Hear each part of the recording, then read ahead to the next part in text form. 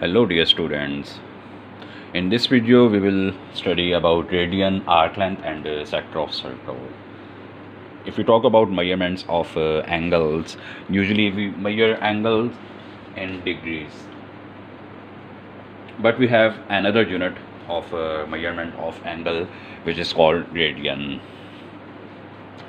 Let me define what is radian angle subtended by arc length which is equal to the radius of circle is 1 radian.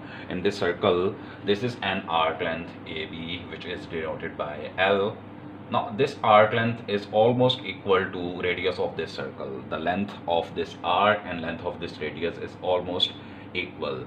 This type of arc length, when this type of arc length subtends any angle at center of the circle, this angle is called 1 radian so in this diagram we can see that this arc length is almost equal to radius. So this angle which is being subtended by this arc length is almost equal to 1 radian this is equal to 1 radian and uh, we can find the value of uh, 1 radian and we can make a connection between radian and degree if arc length is equal to r then the angle will be 1 radian. If arc length is equal to 1 into r the angle will be equal to 1 radian. Similarly if arc length is equal to 2r the angle will be equal to 2 radians if any arc length which is which is equal to 2r is subtending an angle theta at center of the circle that angle will be equal to 2 radians. Similarly we can say that if arc length is equal to 3r the angle will be equal to 3, 3 radians. But usually the, the length of arc is equal to 2 pi r which is equal to circumference of the circle. In a circle the total arc length is equal to 2 pi r. So if we uh, follow this sequence. If you follow this sequence angle will be equal to 2 pi radians.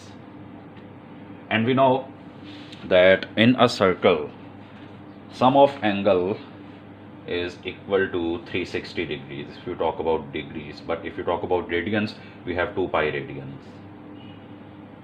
So this is a link or a connection between degrees and uh, radians. That 360 degree is always equal to 2 pi radians. And uh, we can calculate different angles using this relation. We have seen that 360 degrees is equal to 2 pi radians. And if we divide both sides over 2 we will have 180 degree is equal to pi radians. Similarly we can say that 1 degree is equal to pi over 180 radians because this 180 will come in denominator. And similarly we can also use this relation and we can find value of 1 radian. So 1 radian will be equal to 180 over pi because this pi will come in denominator. 180 over pi degrees.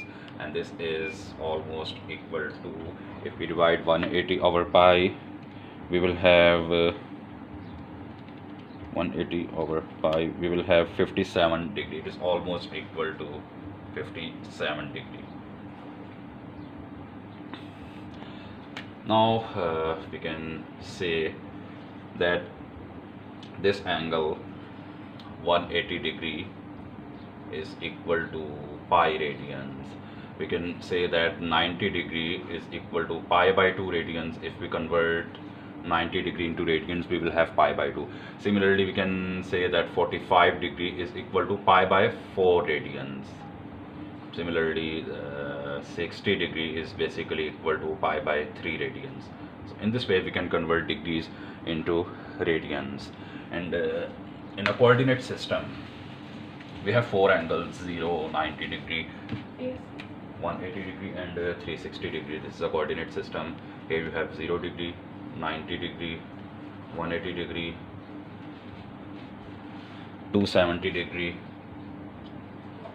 and uh, 360 degree. But if you talk about radians here we will have pi by 2 here we have pi here 3 pi by 2 and here we will have 2 pi this is a conversion between degrees and uh, radians and we can also drive uh, we can also drive a relation between arc length and uh, theta. We know that the arc length is L and if we take ratio this arc length with total arc length which is 2 pi r this will be equal to the ratio between angle and angle in radian. If we have angle in theta the angles in radian will be 2 pi radians. And if we simplify this we will have theta into 2 pi r over 2 pi radians.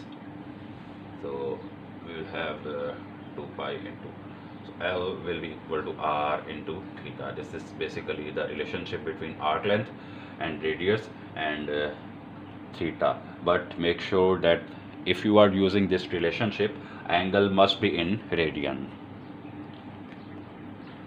Now next thing we have uh, area of uh, sector and uh, length of arc for example this is area of sector. This is this is sector AOB with angle theta and radius r. We can have a relationship of uh, arc length AB this will be equal to theta over 360 multiplied by total arc length which is equal to 2 pi r. Similarly we can have a relationship for sector area of sector area of sector. It is basically equal to theta over 360 multiply by total area of the circle which is equal to pi r square. And uh, we can also uh, we can also drive another formula using this formula that area is equal to theta over 360 degree. But if we write angle in radians we will have uh, 2 pi radians into pi r square. So finally we will have area is equal to 1 over 2 r square theta. But again if you are using angle in degrees we will use this formula for area of sector. And if you are using angle in radians then you will use this formula 1 over 2 r square theta. We can uh, compare the results for both formulas for example if we use this formula and let's suppose this is angle of uh, 45 degree and radius is 6 centimeter. Now if we apply this formula for area of this sector we will have theta over 360 which is 45 over 360 into pi r square pi into 6 square. We will have uh, 14.1 centimeter square. Similarly if we apply this formula for area of the sector now in this case 1 over 2 r is 6 and theta must be in radian. We know that 45 degrees equal to pi by 4 radians. So we will use pi by 4 here. And we will see that in this case we will have same answer for area which is 14.1 centimeter square.